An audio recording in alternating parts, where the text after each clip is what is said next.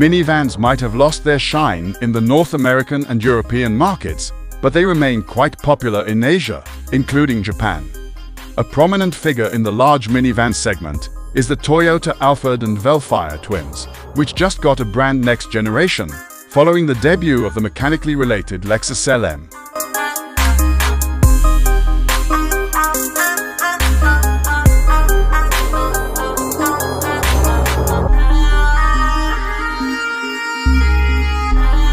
The new Vellfire remain instantly recognizable despite the bodywork being entirely redesigned.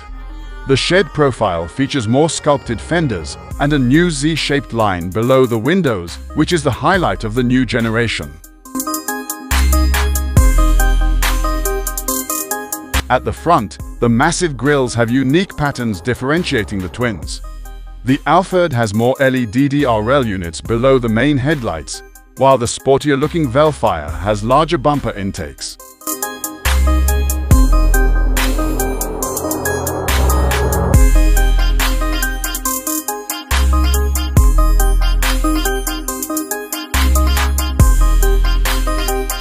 At the back, differences between the two are limited to the LED taillight graphics and the lower portion of the rear bumper, which is characterized by sharp edges.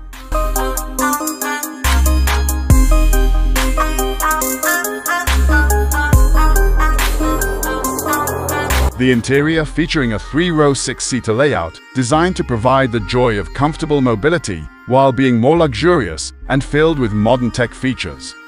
The dashboard houses a 12.3-inch digital instrument cluster, a color head-up display, and a 14-inch touchscreen for the infotainment system.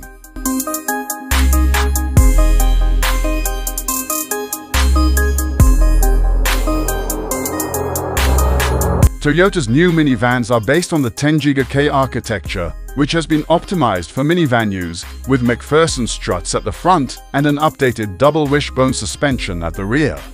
Toyota engineers added straight rockers and a V-shaped brace on the rear section, resulting in 50% improved rigidity compared to the previous generation.